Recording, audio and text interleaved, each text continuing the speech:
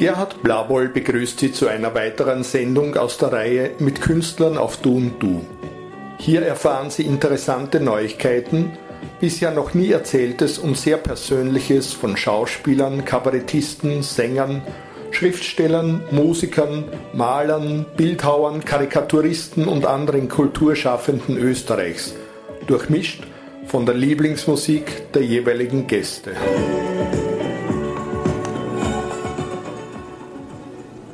Guten Abend, meine Damen und Herren. Ich freue mich, dass Sie wieder mit dabei sind. Wir haben heute bei uns ein Urgestein des österreichischen Kabarets, des österreichischen Fernsehens, des Schauspiels zu Gast. In letzter Zeit auch der Schriftstellerei, Günter Toller. Servus, Günter. Ja, hallo. Günther, ich habe dich als Urgestein beschrieben. Ich hoffe, du nimmst mir das nicht krumm. Mm. Aber du hast deinen Lebenslauf, der ist durchaus beeindruckend. Naja, ich meine, also ich bin jetzt 72 Jahre alt, also ich meine, da kommt schon was zusammen im Laufe der Jahre, nicht? Vor allem, wenn man bedenkt, dass ich ja äh, in welche Zeitspanne man, wenn man 39 geboren ist, noch vor dem Zweiten Weltkrieg, dann überlebt man den ganzen Zweiten Weltkrieg und dann ein Land, das völlig am Boden liegt und dann erlebt man diesen wahnsinnigen Aufstieg, das alles alles einem zuwächst. Wie ich jung war, haben wir keinen Eiskosten gehabt, haben wir kein Auto gehabt, haben wir keinen Fernseher, Fernsehapparat sowieso nicht gehabt. Wir haben Mittelwellenradio gehabt, das war alles. Und dann auf einmal kommt der erste, der erste Eiskosten, also wie wir damals gesagt haben, dann kommt dazu das erste Auto, der Papa, ein VW mit einer etwas kaputten Nockenwelle, kann ich mich noch erinnern. Die uns oft, äh, mit der wir oft stecken geblieben sind dann beim, bei Ausfahrten, stolzen Ausfahrten. Und dann, dann, dann einfach dieser totale Zuwachs. Es ist alles immer mehr und immer mehr und immer mehr geworden, nicht? Und jetzt wird ja wieder alles immer weniger, immer weniger, immer weniger, nicht? Also das ist ein, schon ein schöner Bogen, den man da natürlich erlebt hat. Besonders in deiner Jugend hast du natürlich recht prägende Ereignisse miterlebt. Du hast das ja angesprochen, der Zweite Weltkrieg. Auch wenn du ein kleines Kind warst damals, Du wirst das sicher mitbekommen haben. Du hast ja eine Biografie über deine Mutter geschrieben, ja. die, glaube ich, Halbjüdin war. Die, ja, ich glaube sogar noch mehr Vierteljüdin, glaube ich. Also sie mhm. war jüdischer Mischling zweiten Grades oder mhm. zweiten Grades. Also der Großvater war der Jude in unserer Familie, nicht? Also mhm. ihr, ihr Großvater, bei mir schon der Urgroßvater. Mhm. Aber das hat genügt damals, dass sie von, also wir haben damals in Oberösterreich in Wimsbach gewohnt, das ist Bad Wimsbach-Neidharting heißt es heute. Dort war sie Lehrerin seit 1933 und immerhin, also 1938 hat sie noch grandios Dank und Anerkennung bekommen für ihre besonderen Leistungen als Lehrerin und 1939 hat sie dann vom Ortsschulrat, übrigens demselben Ortsschulrat, der ja vorher Dank und Anerkennung ausgesprochen hat, hat ja dann, als sich dann die Verhältnisse in Österreich ins Gegenteil verkehrt haben, hat ja dann äh, einen Brief geschrieben, es ist unzumutbar, dass sie arische Kinder unterrichtet. Nicht? Dasselbe. Mhm. Ortsschulrat. Also derselbe Vorsitzende des Ortsschulrates, also das war der Gemeindearzt dort, der ist indirekt auch schuld, dass ich in Wels auf die Welt gekommen bin, weil sich meine Mutter um 39 Jahre nicht getraut hat, dem Naziarzt Dr. Hemmelmeier hat er geheißen, sein Name sei verewigt, dem Gemeindearzt anzuvertrauen, also sich anzuvertrauen mit Geburt eines, war dann nur mehr Achteljuden, weil ja. mein Vater war arisch, also mhm. allein diese Rechenaufgaben zeigen ja, wie lächerlich das alles damals war. Und den Dr. Hemmelmeier habt ihr nach 1945 dann ja in der Ortschaft weiter gehabt. Nein, der ist dann sehr schnell weggekommen. Der ist weggekommen. Der ist dann nach, glaube ich, nach Pasching in Oberösterreich ist der, ist der übersiedelt. Wir haben dann einen neuen gekriegt. Weil das, das war ja dann, nach dem, nach dem Krieg sind ja alle die ganzen Nazi-Lehrer, nicht? Also, man, die alle statt meiner Mutter dann an der Schule unterrichtet haben, die waren dann plötzlich mhm. alle weg. Und fast alle, die Nazis waren im Ort oder sich als Nazis hervorgetan haben, waren dann, waren dann weg. Wir haben einen neuen Gemeindehaus gekriegt. Auch meine Mutter musste 1945, also 46, sofort wieder gleich drei Klassen auf Arme unterrichten, weil es keine Lehrkräfte plötzlich gehabt haben und so. Und 47 hat schon wieder Dank und Anerkennung gekriegt für ihre besondere Leistung verrückte Zeit. Verrückte Zeit. Eine verrückte Zeit. Moonlight, die Nacht ist schön. Du bist ja von deiner politischen Einstellung her eindeutig sozialdemokratisch geprägt. Ja, ja. Hat sich das damals schon so ergeben oder ist es erst später im Lauf deines Lebens entstanden? Nein, das war damals schon so. Es war, mein Vater war, war Bilanzbuchhalter in der Föst die Mama war Lehrerin. Und dann, schon damals war es so, dass es ganz gut war, wenn man einer Farbe angehört hat. Die Mama hat zum Beispiel ihre ganze Karriere, sie ist dann später in Linz Schul Volksschuldirektorin geworden, hat es gemacht über den Roten Lehrerverein. Ganz einfach. Nicht? In Linz hat es den Bürgermeister Dr. Korev gegeben, Ernst Korev damals, und der hat uns zum Beispiel sehr geholfen. Und, aber man hat auch schon damals ein bisschen drauf geschaut, bei welcher Partei man ist. Also es ist keine Erfindung unserer Tage, die Parteibuch. Wirtschaft, wenn man so will. Mein Vater war in der Föst und mein Bruder ist fünf Jahre jünger als ich. Und wir beide konnten aber studieren und zwar hauptsächlich deshalb, weil wir, das war damals eine seltsame Zeit. Da hat die Föst hat, hat Überschüsse erwirtschaftet und ein Teil dieser Überschüsse ist in die Belegschaft zurückgeflossen in Form von Sozialleistungen. Und dadurch haben wir Stipendien bekommen. Also mein Bruder zum Beispiel, der auf, äh, auf der einschlägig für die Föst, also der sich mit, mit Maschinenbau und, und, und, und was ich, äh, beschäftigt hat, der ist, da ist das Studium komplett finanziert worden mit der Verpflichtung, dass er dann zehn Jahre lang in der Föst arbeitet. Mhm. Er ist aber sein Leben lang in der Föst geblieben. Also er ist vor ein paar Jahren in Pension gegangen bei der Föst. Ich habe Germanistik und Musik studiert. Ich war natürlich nicht einschlägig. Was macht man in einem Eisenbetrieb mit Germanistik und Musik? Aber daher haben sie mein Studium nur unter Anführungszeichen 50 Prozent finanziert. Naja, aber immerhin. Nein, ich sage ja. Ich meine, das nur habe ich auch sofort ja, unter Anführungszeichen ja. gesetzt. Also man könnte jetzt sagen, dass im Prinzip dass, ich, dass wir heute da sitzen, dass äh, der Grundstein meines Lebens wurde gelegt durch soziale Errungenschaften, die damals alle von der SPÖ erkämpft wurden gegen erbitterten Widerstand der bürgerlichen Parteien. Und ich bin der Meinung, so etwas sollte einen verpflichten, auch wenn ich mit der heutigen Sozialdemokratie da und dort meine Probleme habe, wer nicht. Das heißt aber deswegen nicht, dass ich die Sozialdemokratie an sich deshalb ablehne, sondern dass ich halt momentan mit der, mit, ja, wie sagen die, bei den bei die, bei die Katholischen sagt man mit dem Bodenpersonal nicht. Mhm. Mit dem lieben Gott habe ich kein Problem, aber mit dem Bodenpersonal. Also, ja, momentan läuft es nicht ganz rund und nicht, ganz im, nicht alles in meinem Sinne. Aber das heißt nicht, dass ich deswegen nicht weiterhin Sozialdemokrat in der Wolle gefärbt, wie man so schön sagt, mhm. bin. Zum Bodenpersonal zählst du vermutlich auch die aktuelle ORF-Führung? Ja, das ist eigenartig, muss ich schon sagen. Ich meine, ich habe halt den Eindruck, dass man bei der, der jetzigen Besetzung, zumindest des Generaldirektors, auf alles geschaut hat, nur nicht aufs Programm und nur nicht auf das, was hinunterkommt zum Fernseher, zum Publikum. Äh, das ist mir diesmal eklatant aufgefallen, dass es einfach justament Hauptsache es ist der. Also die Roten haben sich geeinigt auf dem Wrabetz und Hauptsache es ist der Wrabetz. Und dass dann aber der Wrabetz jetzt quasi sich darauf berufen kann, dass er mit einer breiten Mehrheit gewählt wurde. Diese Mehrheit hat er sich ja auch letzten Endes geholt durch personelle Versprechungen und durch. Machtumverteilungen. Also man, der schwarze Herr Grasel kriegt mehr Macht und was der Teufel was noch alles. Also das war, also wenn man jetzt so will, ein ziemlich peinlicher, mir persönlich sehr unangenehmer Kuhhandel. Das ist schon, um Gottes Willen, ich will jetzt nichts gegen die arabischen Länder sagen, aber da ist es ein bisschen wie ein Bazar zugegangen, nicht? Den Eindruck hat man ja so als Zuseher, der nicht so dem ORF verhaftet ist, ja genauso. Ja, weißt du, Entschuldige, äh, es ist so eine Geschichte. Ich bin 1999 beim ORF in Pension gegangen. Damals haben wir eine, eine mittlere Reichweite von 52 Prozent gehabt. Das ist jetzt 10, 12 Jahre her und jetzt hält der ORF bei 32 Prozent mittlerer Reichweite.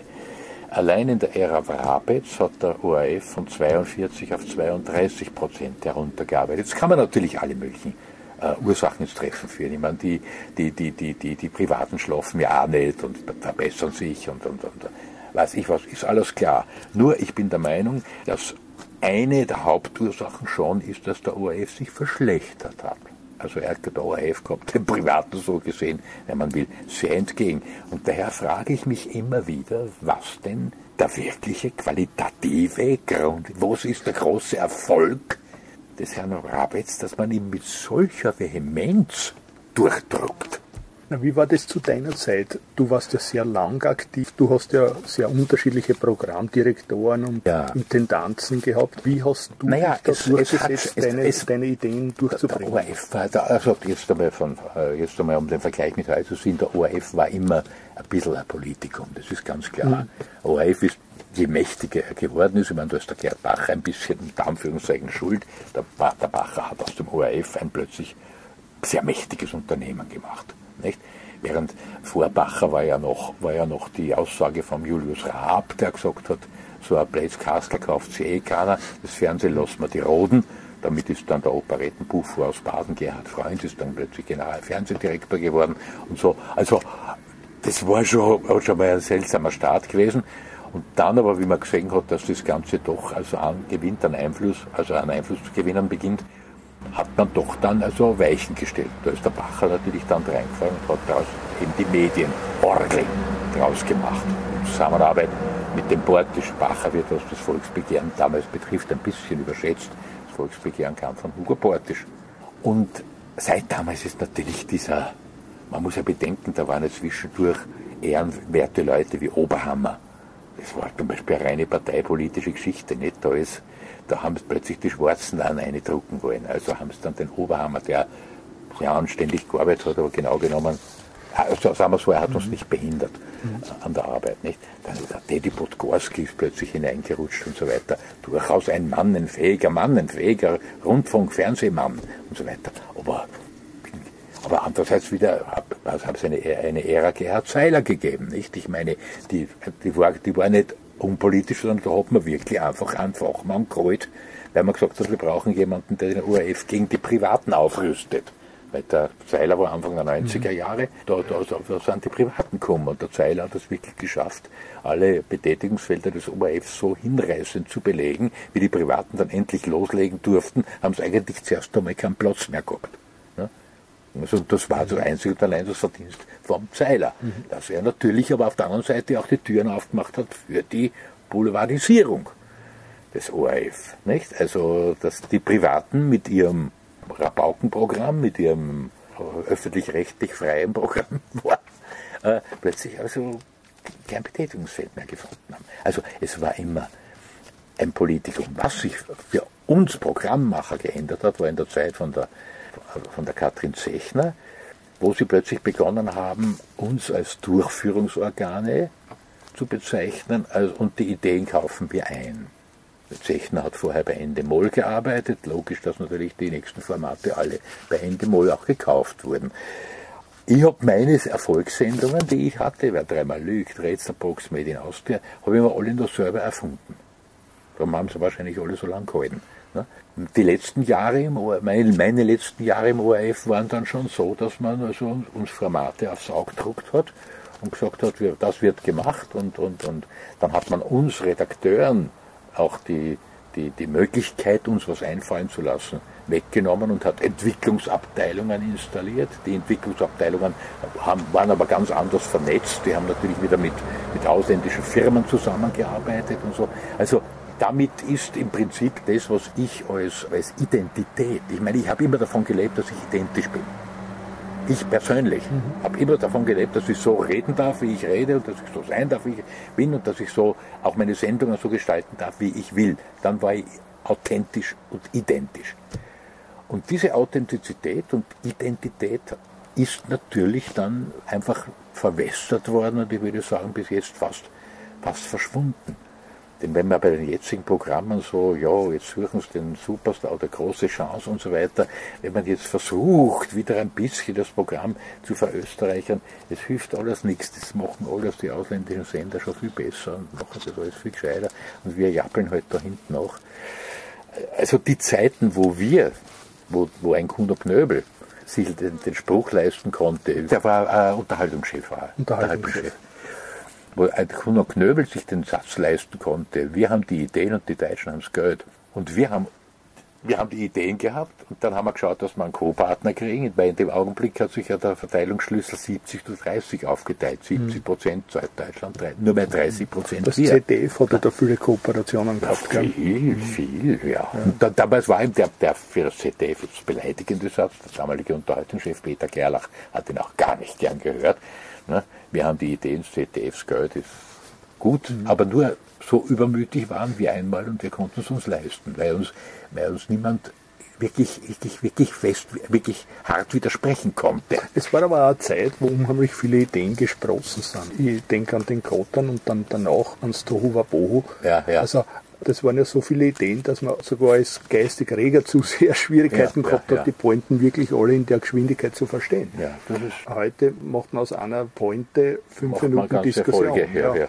Nein, es ist so, dass, ja, ich meine, das, wovon du jetzt sprichst, ist die Überfülle, die wir damals hatten. Na ja, soll uns nichts Schlechteres passieren, nicht? Worauf der Robert hat eindeutig zu viele Pointen gehabt. Ich meine, aber da war es schon wurscht, wenn ich nur die Hälfte mitgekriegt habe, auch das hat genügt. Mhm. Nicht? Also, dass ich, dass ich sage, dass ich gesehen habe, boah, das ist eine Geschichte, das ist eine gute Geschichte. Nicht? Nein, äh, äh, äh, worauf ich das zurückführe, ganz einfach, man hat uns lassen. Und das lässt man nicht. Also jetzt die, ich mache ja, ich, ich bin ja nur ja, beteiligt die, an der ganzen jetzt Geschichte. aktiven Aber die jetzt aktiven natürlich, ich meine, die, ja, die, die, die, die sind, die werden Formate erfüllen. Wobei, wenn jemand vom ORF das, was ich jetzt sage, hört, werden sie natürlich einem vorher, um Gottes Willen, wir haben doch das entwickelt und das haben wir entwickelt und das haben wir entwickelt, das haben wir entwickelt. Ja, nur dort, wo sie also wirklich mitten im Achten und so weiter, nicht? Also wo sie wirklich sich hineingekniet haben und wo sie auch viel investiert haben oder dass sie den Heinzel geholt haben, ich meine, das ist ja der größte Blödsinn gewesen aller Zeiten. Da haben sie auch viel investiert, weil sie haben sie ein eigenes Studio, eigenes, was weiß ich was, Büro, Riesenaufwand gegeben.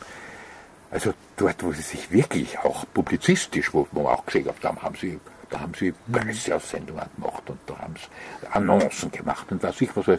Das ist doch bitte eigentlich alles in Kübel gegangen. Ich meine, das kann man keiner widerlegen.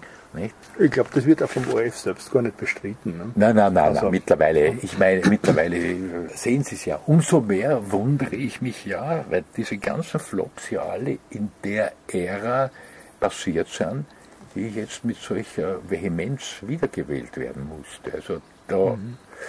Ich habe mir immer gedacht, ich meine, ich, ich mag, ich kenne den Rabitz recht gut und ich habe mir eigentlich gedacht, der arme Kerl, ne, der ist doch jetzt ablösereif. Noch, man, in, in seiner Ära 10% abwirtschaften ist ja bitte also woanders ein Grund für, dass man nicht mehr bestellt wird, sagen wir mal so. Aber momentan läuft die Politik in Österreich halt so, dass die Parteien halt um eine Art von Selbstbehauptung kämpfen. Und zwar weniger bei der Bevölkerung, sondern nur untereinander. Und das ist halt, da kommt halt dann nicht immer was Gescheites raus. Am vergangenen Freitag waren wir zwei ein Trickverbot. Dass sie nicht dabei waren, das ist schon, schon, schon, schon, schon, schon, schon. Du hast vorher von Selbstbehauptung gesprochen, du hast vorher von Authentizität gesprochen. Wenn man auf deine sehr interessant gestaltete Homepage draufschaut, springt dann als erstes eine Selbstdefinition von dir entgegen. Günter Toller und als erstes steht dort, das ist der Schwule. Ja. Wieso hast du das an die erste Stelle deiner Selbstbeschreibung gestellt? Weil es in den letzten Jahren eigentlich der größte Angriffspunkt war. Also da, wo ich halt Probleme da und dort wieder mal hatte. Nicht? Nach wie vor? Nein. Na. Eben nicht. Na. Eben nicht, weil dadurch, dass sie leider der Schwule, ich meine, dadurch, mhm. das ist so, wie soll ich sagen, man kann es ruhig sagen, so penetrant, dass sie sofort mhm. drüber hinweggehen, das wissen wir eh schon, bitte. Ja. Warum betont er es so? Naja, es ist ja wunderbar provokativ, nicht? Also die, die Wiener Tschuschen Kapelle hat sie ja seinerzeit auch so genannt, ja, ja. Äh, um dem Ganzen die Schärfe zu nehmen. Flucht. Es, ähm, ist, es ist eine Art, eine Art Flucht nach vorne, wobei das Wort etwas zu drastisch ist. Es ist, wie soll ich sagen, einfach ein Wind aus den Segeln nehmen. Ihr könnt mich nicht beschimpfen, ich bin schwul, weil ich sag's ja selber, dass ich schwul mhm. bin. Nicht? Also, wenn mich beschimpfen wollt, müsst ihr euch was anderes einfallen lassen. Schwul ist gegessen. Ne? Also, ja. Während deiner Arbeit hast du da wirklich Probleme gekriegt? Nein, eigentlich, das war ja das Interessante, eigentlich überhaupt nicht. Nur, dadurch, dass es keine Erfahrungswerte gab, was passiert, wenn mir wer aufplattelt oder wenn mhm. mal wer draufkommt und so was passiert dann? Man hatte ja keine Erfahrungswerte. Und da war natürlich dann, wie damals in den 80er Jahren, ja, ich habe ja 15 Jahre mit einem festen Partner zusammengelebt und bin auf alle Empfänge und zu allen Einladungen mit dem hingegangen. Das heißt auf gut Deutsch, die Leute haben nicht viel nachdenken müssen. Die haben sich gedacht, der kommt da mit dem Norbert, na, das ist eh klar. Und raus, damit mhm. war es schon wieder Wind aus den Segeln, weil wir es nicht mhm. verheimlicht haben. Aber wir haben auch nicht uns öffentlich geküsst, sondern ich bin einfach Günter Toller mit Begleitung und dann war ich der mit. Also mhm. Ende. 15 Jahre lang. Die Donau hat auch ihre Begleitung mit. Ja, sowieso. Also, also ich meine, ich sage ja, äh, ich habe deshalb keine Schwierigkeiten gehabt, weil ich es selber selbstverständlich genommen habe. Man ist als Schwuler nichts Besonderes, obwohl manche sowas aus einer machen wollen, ne, die man was anderes, anders kann ja auch was Besonderes sein. Ne? Also ich habe das einfach, ja, es war halt so. Aber Natürlich hat es dann zum Beispiel, die Kinder habe ich damals, habe ich so beim, in Polen hat mein Kind so einen kleinen Freundschaftsring geschenkt. Den habe ich halt getragen. So, ist dann gestanden, ja, Günter Toller, also der, sein Privatleben sagt er ja nichts, aber er hat einen am linken Finger, kleiner Finger, hat einen Freundschaftsring, was mag da wohl für ein süßes Geheimnis dahinter stecken und so weiter. Oder einmal haben sie dann geschrieben, Günter Toll, das Privatleben ist ja auch sehr eigenartig, sehr geheimnisvoll. Klar ist, man hat noch nie eine Frau an seiner Seite gesehen. Und so, und so ist, so ist er hingegangen. Und da habe ich mir gedacht, naja, Jetzt äh, kommen die Einschläge immer näher. Irgendwann einmal, dann war die, war die Affäre mit Rosa von Braunheim, der hat da draußen plötzlich in Deutschland die alle geoutet, worauf dann, was weiß ich, der Patrick Lindner oder der Habe Kerkeling plötzlich alle drei Wochen auf Tauchstation gegangen sind, nicht? weil sie nicht gewusst haben, was passiert jetzt. Ne? Es ist aber de facto nichts passiert. Nicht? Und das war nur dann, wie dann mein damaliger Lebenspartner in der Norbert erfahren hat, dass er HIV-positiv ist. Das war 1991 und das war damals quasi so ziemlich ein sicheres Todesurteil, nicht?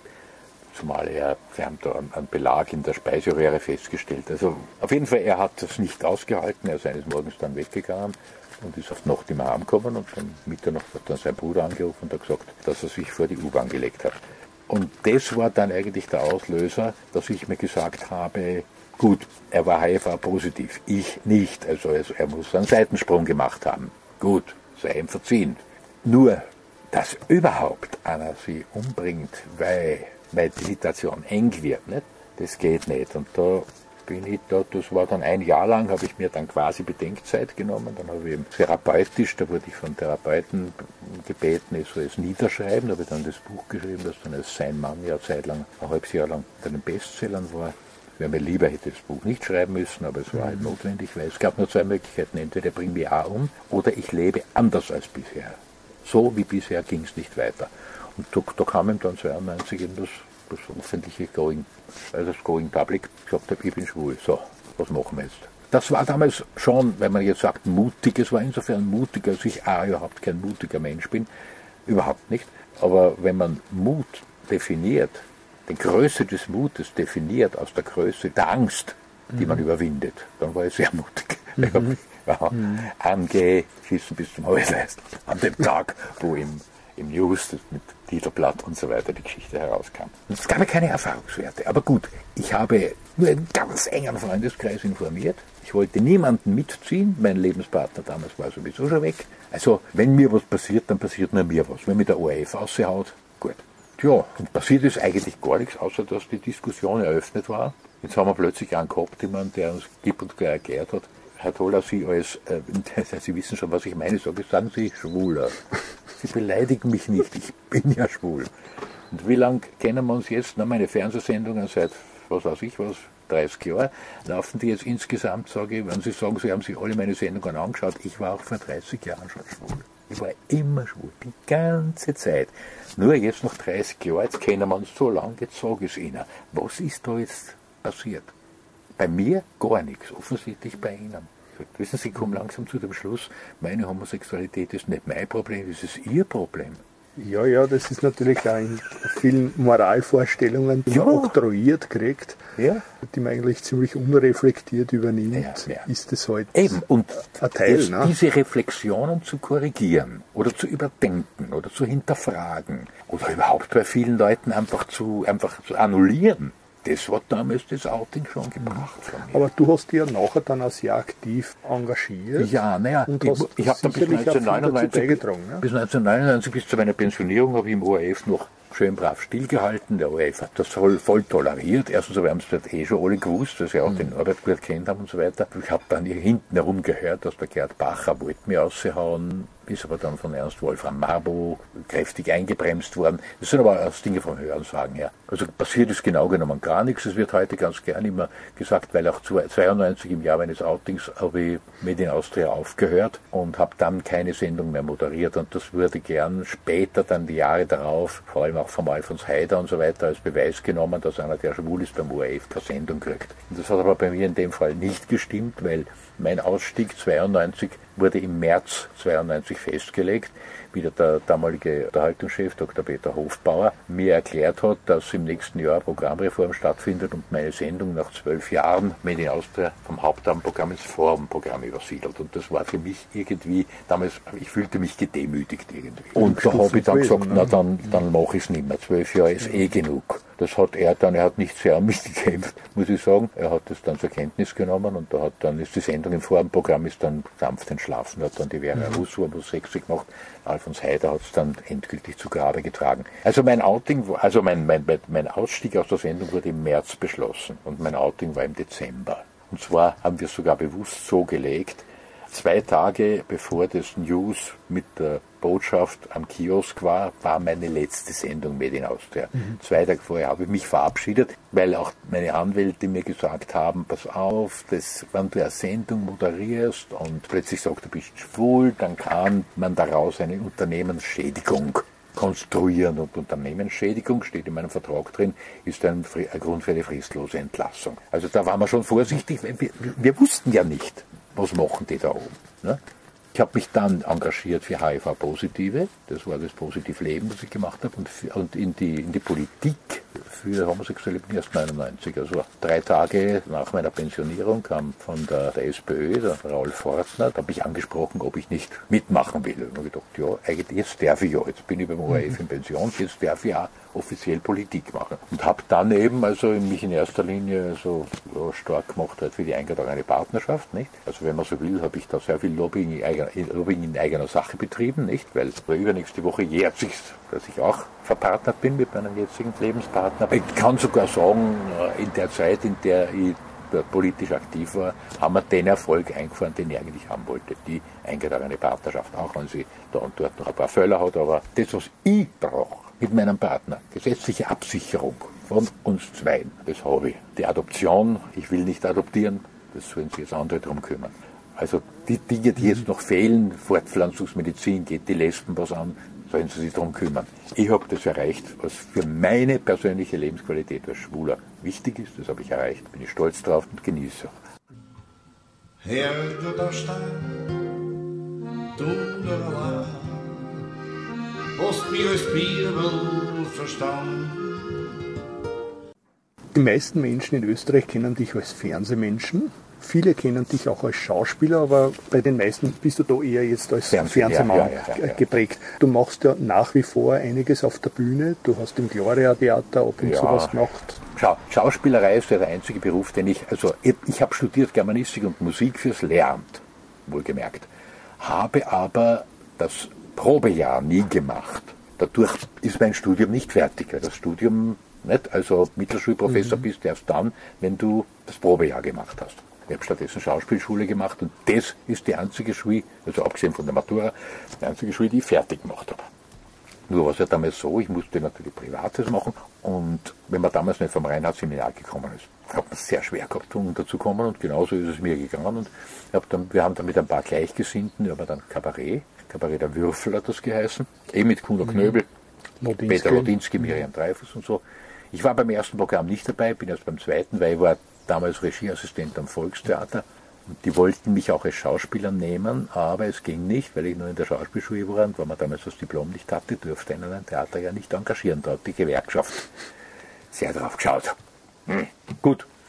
Und so musste ich mich also, weil ich von das Leben musste, anderweitig umschauen und bin dann über Theater der Jugend und im Kabarett und so weiter. Und im Würfel, das war dann sehr eigenartig. Das war genau in den 60er Jahren. Das war sehr eigenartig. Weil da war, das war die Zeit, wo eben das Rundfunkvolksbegehren war, ne, 1967. Dann ist der Gerd Bacher gekommen Und was natürlich für uns sehr interessant war, unser Chef, der Kuno Knöbel, war damals ein hoch angesehener Journalist. Hat damals, damals das neue Österreich noch gegeben. Nicht? Eines Tages lese ich in der Zeitung, dass der Chef von unserem Kabarett-Unterhaltungschef geworden ist im Fernsehen. Daher das muss hast ich jetzt, in der Zeitung gelesen? Ja, wir haben es erfahren, ja. Also wir haben der Zeitung. Ich kann mich noch genau erinnern, im Kurier, der Fernsehseiten rechts oben, nur fünf Zeilen, neuer Unterhaltungschef Kuno Knöbel. Äh, das heißt, wenn mich jetzt jemand fragt, wie bist du zum Fernsehen gekommen, gibt es eigentlich nur eine Antwort durch Protektion. Weil der Knöbel hat uns dann halt so nach und nach alle geholt, nicht? Und wir waren ja sowieso schon bekannt, weil wir haben auch, so begann es. Und eigentlich sollte ich dort Redakteur werden und ich war eigentlich ganz froh. Ich habe mich auf der Bühne damals nicht mehr ganz so wohl gefühlt, irgendwie habe ich da Krise gehabt. War ganz froh, also nicht mehr spielen zu müssen oder nicht mehr öffentlich zu sein, sondern Fernsehredakteur ist natürlich ein unglaublich interessanter Job. Habe dann gleich von Anfang an die Konrad-Sendung gekriegt als Provisorium, mit dem Effekt, dass ich ihn bis zu seinem Tod begleiten durfte. Aber drei Jahre später bin ich dann schon wieder als Moderator, bin ich dann als Moderator aufgetaucht mit der dreimal Lüg damals. Nicht? Und dann, ja, dann ist eben die, ja, die Karriere begonnen, die mich halt bei den Älteren heute noch bekannt macht. Die Jungen kennen mich alle nicht mehr, ist klar. Ich habe mit Medien Austria 92 aufgehört. Dann war ein bisschen Tohu Wapohu. Ne? Das ist bis 96, 97 gegangen, glaube ich. Da war das auch vorbei und seither gibt es mir in der Öffentlichkeit eigentlich nicht mehr. So, Aber du schreibst ja. Die Geschichte meiner Mutter habe ich aufgearbeitet. Dann habe ich drei Bücher geschrieben, die sich mit der so schwul, also mit, der, mit, der, mit dem Milieu, also das eine ist eben das Sein Mann, wo ich die Geschichte aufarbeitet, Tod meines Lebenspartners damals. Dann habe ich ein zweites das mein Lieblingsbuch ist eigentlich, wer hat die Karten gemischt? Das haben wir vergriffen, gibt es nicht mehr. Allerdings, ich habe eine Internetseite, da sind die Bücher alle zu haben. Dann das dritte heißt Zur Hölle mit mir. Ja, und so schreibe mir durch die Gegend. Jetzt arbeite ich gerade an einem Drehbuch, an einem Filmdrehbuch und so. Und dann habe ich schon wieder ein paar Geschichten fertig, die mir allerdings wieder überhaupt nicht gefallen. Jetzt arbeite ich sie wieder um. Meine ganze Schreiberei hat nämlich einen fürchterlichen Nachteil. Ich schreibe so gern, und das Veröffentlichen ist immer so wie, so wie Kindesweglegung. Weil bei mir eigentlich etwas nie fertig ist.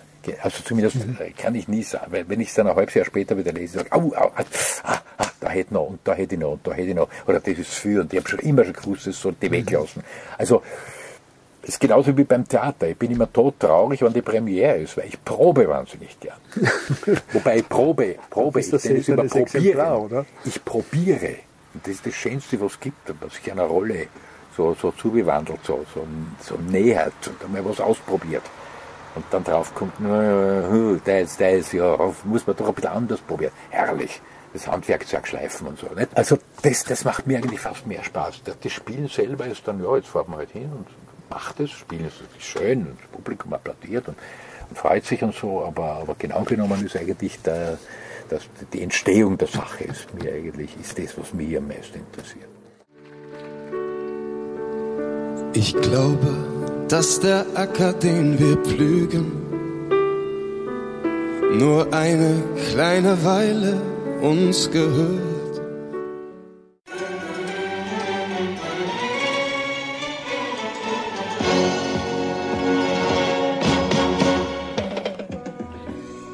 Das war eine weitere Sendung aus der Reihe mit Künstlern auf Du. Ich freue mich, wenn es Ihnen gefallen hat und Sie Lust bekommen haben, auch bei anderen Sendungen reinzuhören oder Sie uns einfach Ihre Eindrücke mitteilen wollen an gerhard.blaboll.aon.at. Bis bald, Ihr Gerhard Blaboll.